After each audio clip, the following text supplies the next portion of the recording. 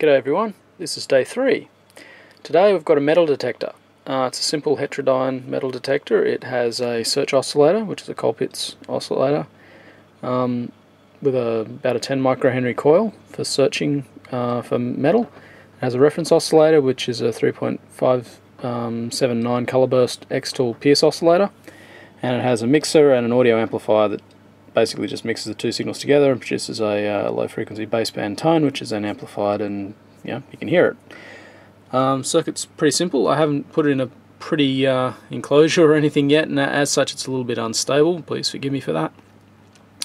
I had some problems with the, um, the reference oscillator injection locking the, um, the search oscillator so I had to use rather weak coupling into the um, into the mixer and eventually I ended up using harmonic um, mixing so that the uh, the reference oscillator is now actually operating uh, at twice the frequency or, of the um, the search oscillator, which also helps with uh, stability because uh, this is running out at fairly high RF frequencies. The most metal detectors would typically run at a couple hundred kilohertz, whereas you know, this is operating at 3.5 megs or thereabouts. The uh, but the harmonic mixing seems to, to keep the injection locking under control. I, I think if I probably built it on uh, a circuit board with better RF hygiene as far as the layout goes, it would uh, it would work better, and probably the injection locking might go away. Alrighty, let's turn it on. I haven't bothered to null it or anything. Here's some metal.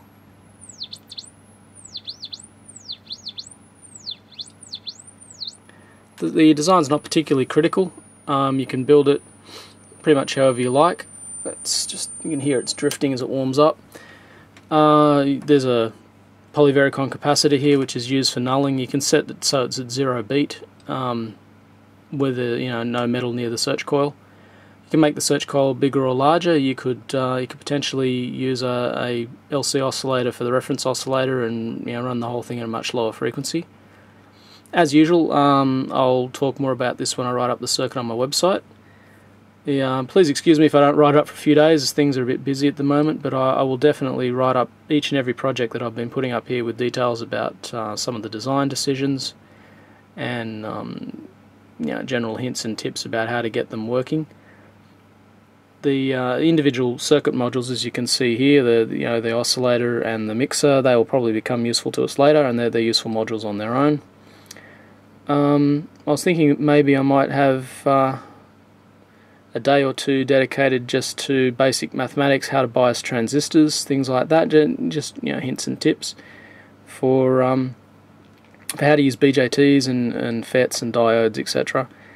I, I don't want to terrify anyone with the mathematics, but uh, unfortunately, you have to be able to do, you know, really, if you know Ohm's law and the diode equation and a couple of rules of thumb, that's really all you need to do all of the projects that I'm that I'm going to show here.